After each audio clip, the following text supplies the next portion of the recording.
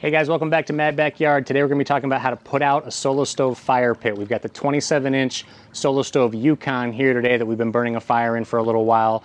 And now it's time to put it out and we're going to talk about how to do it the right way. Before we get into how to do it the right way, let's talk about a couple ways you don't want to put out a solo stove. First of all, don't try to put out your solo stove with water. If you go pouring a bucket of water on the solo stove fire pit, while it will extinguish your fire, it's gonna leave a muddy mess in the bottom and eventually lead to rust and ruin your fire pit. So while it's tempting to just douse it with water at the end of the night and be done, just don't do it or your fire pit's not gonna last very long. The second option you maybe thought about is using sand, and while this does work in some types of fire pits, it doesn't work in the solo stove. The way the solo stove is designed with the holes on the base, the sand is basically just gonna fall mostly right through to the bottom and not really put out your fire. And again, you're gonna be left with a little bit of a mess to clean up. So if we can't use water and we can't use sand, but we're ready to be done for the night and wanna put out the solo stove, what's the best way to do it? Well, Solo Stove recommends just letting the fire die down naturally and letting the coals burn out on their own. And while this is the safest way to do it, it also comes with some drawbacks. Number one, it takes a really long time. And number two, we don't usually feel comfortable leaving the solo stove unattended, but we also don't want to stay with it all night while the logs burn down. Thankfully, we've got some good solutions to both these problems. As you can see, we like using the solo stove shield on our fire pit. It keeps embers from popping out and allows you to get a little closer to the fire without worrying about that. At the end of the night though, the Solo Stove Shield can be really, really hot. So make sure you're using the uh, provided pokers that come with it to help take it off and lift it up by the lid. And you're gonna move it to a heat safe surface like this metal oil drip pan that I like to use. I use it for this. I also take off the, the top of my Weber grills and other things and place it down. It helps protect whatever surface uh, from the hot Solo Stove Shield after I take it off. You also don't want to put the Solo Stove shield directly on your grass or it will kill it and leave a ring. So make sure you put it on something like this metal oil drip pan instead. Once we've got the shield removed, we can spread the logs out a little bit with a fire poker like this one. I'll put links to all this stuff down in the video description below if you want to check them out for yourselves. But we're going to move the logs around. This is going to help them burn out and die down a little faster than they would otherwise. I'm just going to break them up a little bit. And while they'll initially uh, flare up and start burning a little hotter, they will die down faster by doing this. So plan ahead for when you want to be done using your solo stove fire pit.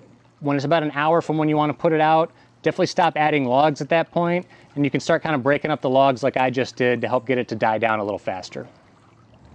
So we've solved the problem of helping the fire die down a little faster than it would have otherwise by spreading the logs out. Uh, but now we get to the point where we don't necessarily want to leave these hot coals overnight unattended. But we also don't want to sit here all night watching the fire. So what do we do? We found that the best option uh, to solve this problem is actually the Solo Stove lid. And this is a lid that Solo Stove makes, and lid is kind of an understatement because this is a pretty heavy duty uh, piece of stainless steel that fits perfectly over your Solo Stove. It even fits directly over the flame ring, so you don't have to remove this to put the lid on. Um, and what it does is it helps uh, keep anything from falling into the solo stove or any embers from popping out of the solo stove, letting you feel a little more comfortable leaving the solo stove unattended and uh, go to bed for the night. Now you can see we've definitely still got some active flames going in the solo stove here. Uh, Solo Stove recommends not using the lid to actually snuff the fire out, but only put it on once you're down to hot coals like the ones we have over on this side. So we're gonna give it about 10, 15 minutes to let this fire die down until it looks a little more like this, and then we can feel comfortable putting our lid on. All right, so we've given those last couple logs about 10 minutes and the flames have pretty much died down. Now we've just got some really hot coals here. And while the fire has died down, this is very, very hot. And I wouldn't necessarily feel comfortable just walking away and leaving it like this all night, thinking about something falling into it or an ember popping out. So we're gonna put the Solo Stove lid on now. You're just gonna carefully put it on. Even though the lid's not hot, the Solo Stove is, so watch your fingers, make sure you're wearing some good uh, heat-proof gloves. We're gonna carefully put this over the top, right on like that.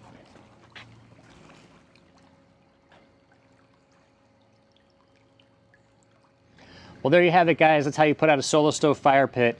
And in my opinion, using the lid is one of the best ways to put out the fire pit at the end of the night. And I think it's one of the best accessories you can get for your solo stove because uh, it really does make it a lot more convenient to be done and walk away at the end of the night without having to worry about uh, leaving your solo stove unattended.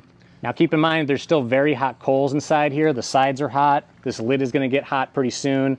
Uh, we don't wanna put our Solo Stove cover on just yet. While I do recommend getting the Solo Stove cover and uh, using it to keep your Solo Stove covered, uh, we don't wanna put it on overnight because it will uh, ruin the cover from the heat of the coals. So let it sit like this overnight. Come check it in the morning, make sure all the coals have died down and uh, everything's nice and cool. You can empty it out at that point, clean it, and then uh, put your cover back on at that point and store it for the next time you use it. I'll put links to both the Solo Stove lid and the Solo Stove cover in the video description down below if you want to check them out for yourself. Thanks for watching this video on how to put out a Solo Stove fire pit. If you want to check out the step-by-step -step article that accompanies this video, check out the link in the video description down below. Uh, the link will take you to madbackyard.com where you can also find a whole bunch of other articles and resources all about solo stoves, uh, how to light them, how to clean them, uh, whether you should use one on concrete or a deck, and all those questions that uh, you may want to have answered, you can check out at madbackyard.com. Make sure to hit the like and subscribe button if you like this video and want to get more like it, and uh, thanks for watching.